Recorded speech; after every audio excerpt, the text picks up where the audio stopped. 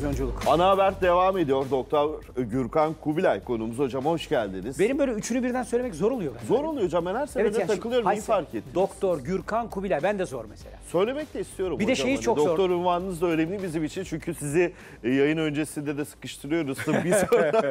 Bir de şey zordu. Ben bizim okulun 9 Eylül Üniversitesi Fakültesi mezunuyum. Ee, e, kuruluş bak şimdi söyle kuruluş yıl dönümlerini de ben sunardım. Başlangıçta da şöyle söylerdim. Ben Doktor Gürkan Kubilay 9. kuruluş yıl dönümü. çok, çok zormuş hocam Allah Ağzım korusun. burnum. Onun için seni gayet iyi anlıyorum.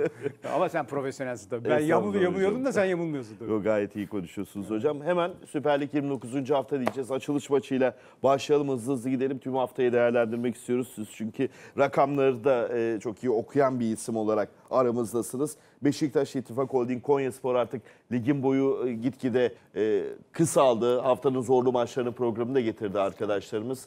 Açılış maçı Beşiktaş açısından da çok önemli çünkü farklı hesaplar var ki siz buna vurgu yapıyordunuz zaten gerek sakatlıklar gerekse pandemi süreci ligde sürprizlere gebeliyordunuz. Hani Aynen. Beşiktaş aslında daha pandemiden sonra başlayan ligde umudunu kaybetmişti ama üstelik yenilgiyle başlamasına rağmen hala Şampiyonlar Ligi umudu var mı? Var Beşiktaş'ın hocam. İttifak Holding Konyaspor'da lige tutunmaya çalışıyor. Şimdi e, e, hakikaten seninle ligler başlamadan önceki son programdı galiba. Şey, Evet. O ne bir özel bir ismi vardı o programımızın.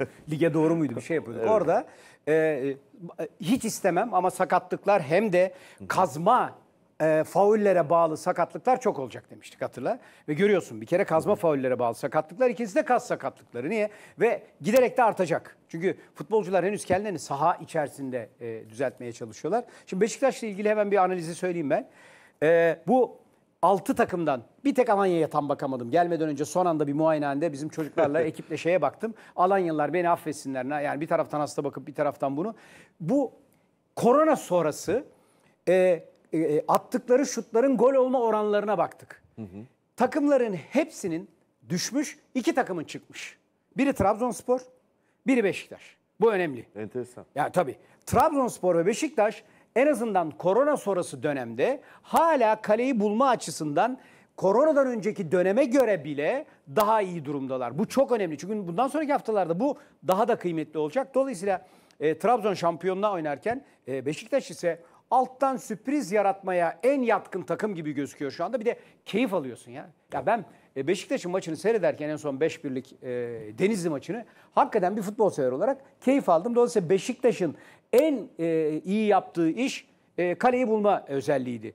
Zaten düşün belki Beşiktaşların hayallerini süslerdi. Aynı maçta hem Enkodu atacak hem Diaby atacak. Bir de zaten girip de Boyd falan atsaydı Beşiktaşlar için müthiş bir gün olacaktı ama Beşiktaş'ın önemli özelliği ya bu da koç farkı bence. Yani e, hani biz Covid'den, koronadan falan bahsediyoruz ama bir de sergen virüsü var. Sergen virüsü adama doğru şutta attırıyor herhalde. Gerçekten psikolojik tarafı çok önemli.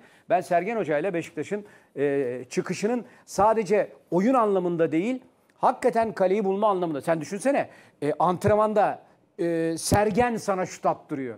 Şimdi ben teknik direktör olsam dağları taşları vuruyorum zaten ama Sergen her vurduğunda bir yere vuruyor. Futbolcuyu olumlu etkiler. Hocam Enkudu'nun röportajı vardı. O, onda görüyoruz bu dediğiniz Ne demiş? Ben etkiyi. kaçırmış olabilirim. Ee, şunu söylüyor. Sergen Hoca'nın onun golünden sonra o diye bir tepkisi vardı.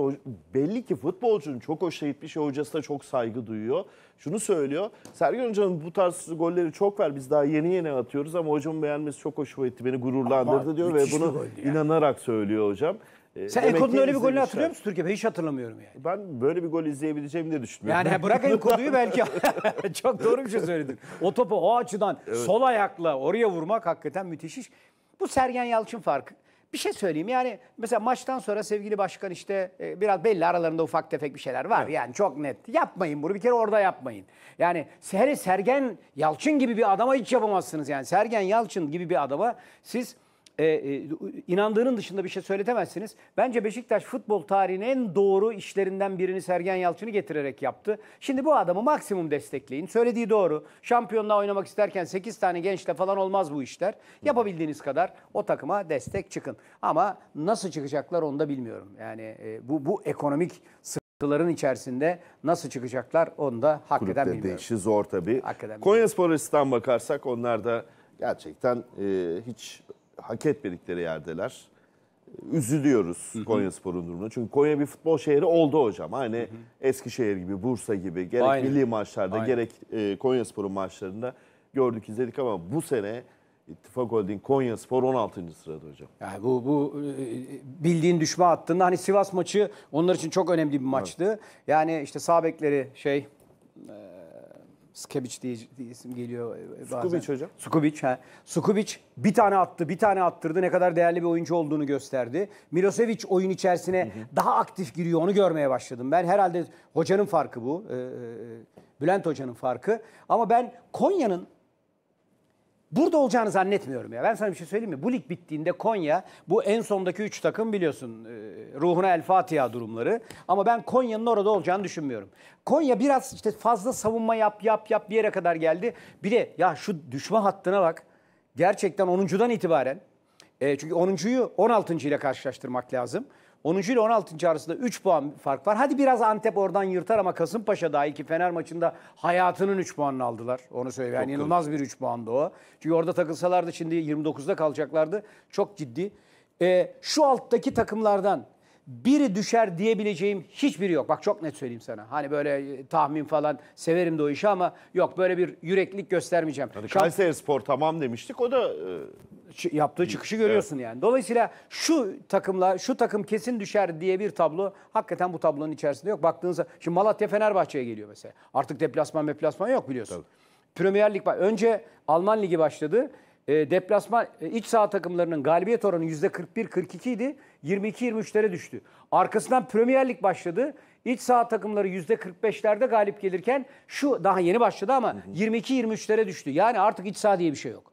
O yüzden de iç saha avantajının olmaması en çok kime yarıyor? Alttaki takımların Doğru. yukarıdaki takımlarla yaptığı maça. Çünkü zaten adamın etine budune. Bir de seyirci vuruyor. Şimdi en azından seyirci vurmuyor ve oyuncu hiç etkilenmeden oyun oynuyor. O yüzden de mesela Malatya bu hafta Fenerbahçe maçında sürprize gelirse hiç şaşırmam yani. Ama artık bu Fenerbahçe'de herhalde o sürprizi bırakmaz. Evet. Beşiktaş İttifak Holding Konya Spor maçında nasıl bir sonuç bekliyorsunuz? Favoriniz kim onu da sorayım. Ben Beşiktaş favorim. Bundan sonra Beşiktaş'ın hatta ya Beşiktaş şimdi 2-1 kaybettikleri şey maçı. Antalya Spor. Antalya maçı.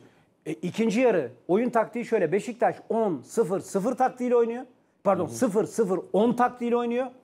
E, Antalya 10-0-0 taktiğiyle. Yani futbolun hiçbir öğesinin bir maçta e, hücum girişimi anlamında en yüksek hücum girişiminin yapıldığı maçı oynadı Beşiktaş. Yani futbol adına ne gerekiyorsa yaptı ama futbol içeriye sokamadı mı böyle oluyor. Yoksa Beşiktaş ilk maçta da şunu açık söyleyeyim.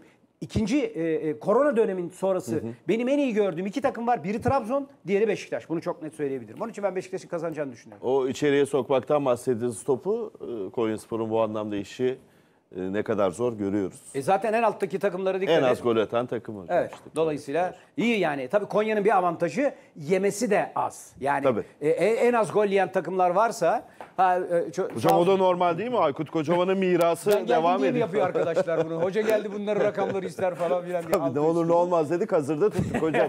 Çok önemli bu. Buradaki önemli olan nokta şu.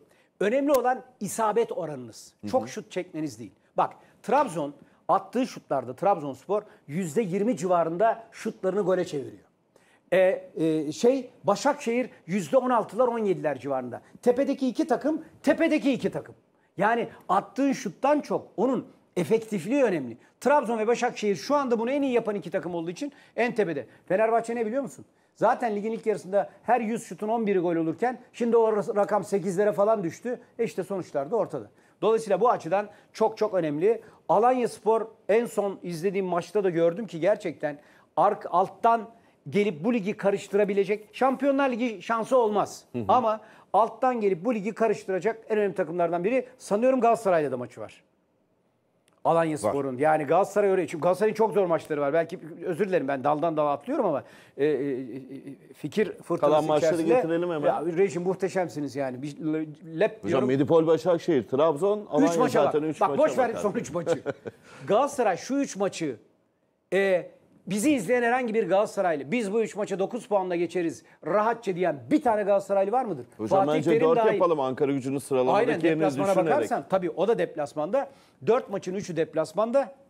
e, Başakşehir, Trabzon, Alanya gibi ilk 6'daki takımlarla ve bunlardan aldığı puanlara bakarsan Galatasaray'ın öyle çok iyi puanlar almıyor Galatasaray. Aslında Galatasaray uzun yıllardır ligin altındaki son 5 sırasındaki takımlarla oynadığı 10 maçta puan ortalaması 2.8-2.9. Yani oradan 28-30 puanı topladığı için yukarıdakilere kaybetse bile bir yere geliyordu.